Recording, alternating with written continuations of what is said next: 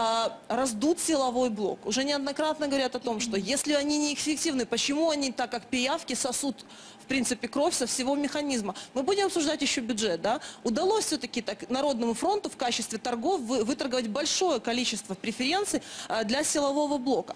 Тогда вопрос, куда уходят эти деньги, если они неэффективны? Если все развалено, все расшатано, нет синхронизации, механизм не работает, как швейцарские часы, куда Могу уходят колоссальные возможно, деньги? ответ в электронных декларациях нам, нашим зрителям Ну стоит так и электронные Ну, декларации, вариант, понимаете, тоже до конца не панацея. Хорошо, по электронным декларациям вопросов не меньше. Но да, мы Чуть увидели, знаете, оголился этот нерв, но он же не решен.